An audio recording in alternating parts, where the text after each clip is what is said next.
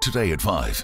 How does a sweet little girl become a human trafficking victim? I was trafficked for 18 years total. I'm 32 years old and I started getting trafficked at 12. It's a story unlike any you've ever heard. But until it, you're like seeing someone face to face who's experienced it, it, it's not as real until then. Defender Karen Drew has the exclusive you have to see.